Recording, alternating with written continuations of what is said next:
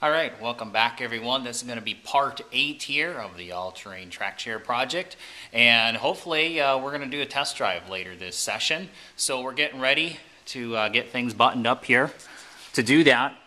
And one of the things that I have here is the spring tensioners. We talked about them before. I finally got in the longer threaded rods that go on there. This is the parts for the left side. I have the right side on there. They go from this front uh, bogie wheel arm to the back one and they provide preload to force the weight to the center tube. And what happens is when you air up the air shockers, it then pulls on the front and the back one and applies pressure to the middle ones, uh, lifting the track up just slightly and makes it easier to turn. When a tracked vehicle turns, it is skidding. And in this case, uh, that skidding takes a lot of uh, effort and force. And so by decreasing the amount that it has to skid, it makes it turn easier. Uh, conversely, if we lower the air pressure then for better ride comfort, then uh, it makes it harder to turn but easier to go straight. So this gives kind of a best of, uh, of both worlds there. So I've got the parts ready to go on the left side. We'll get that on. Then we'll finish buttoning up here some airlines. I've got these hooked up but not uh, tied down and I've got to get some armor protecting on those so that they don't rub on anything. So we're going to get uh, that finished here on the right side and do the same thing on the left side. And then uh, we'll be getting back onto the fuel tanks get the hoses hooked up there and we'll be pretty close to ready for a little test drive of testing systems here. So stay tuned. All right so we're getting real close here where I'm going to take it for a little test spin. I promised that earlier Gotten a lot of work down here on the suspension all done. Uh, been working on the safety bar a little bit. It's hard to see that inside the cockpit there. But we're basically at a point where I want to test some of these systems out with a little bit of movement with it. And uh, so we're going to grab the crane, lift it off of this rear jack stand, and then we'll get to filming with it. Uh, fire up and a little test drive for you guys.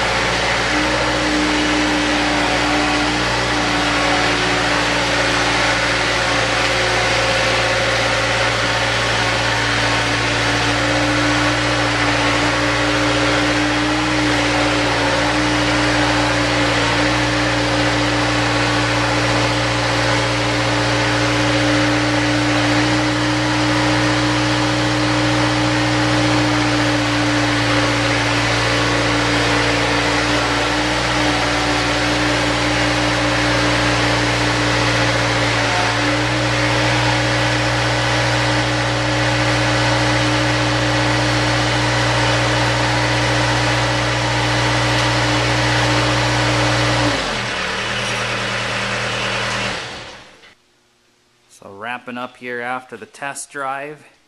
Been mainly working inside the cockpit here. Got the main uh, headlights on up there. They're wired in. I got to do a little bit of wire cleanup yet. Working inside here. Safety bar is all installed with the air cylinders, air lines, air routing, the seat belts, shoulder harness that goes to that. Headrest, shoulder rest pads are in as well. Um, got a couple more wires and the rest of the panel done on this side. So this side of the cockpit is almost complete. There's just an arm left there for the screen for the rear backup. This side is just about done. I've got to do just a little bit of repacking of the hoses there and then that little side triangle can go on. Uh, then next up there's an aluminum plate that goes back here to shield all that emergency brake stuff. I got to clear coat that, get that in next. Um, EZ Lock will go in as well. So those are things left on the to-do list. And then of course the roof will go on, uh, front windshield frame, and then we can start to move into getting the Plex on. So getting down there to, uh, to some of the final things here. As you can see on the back, it's uh, pretty complete. Uh, backup camera, of course, right there. Got that installed.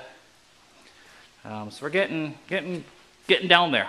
So thanks for staying with us on this long, long journey, and uh, we'll catch you guys next time and go from there. Thanks, everybody.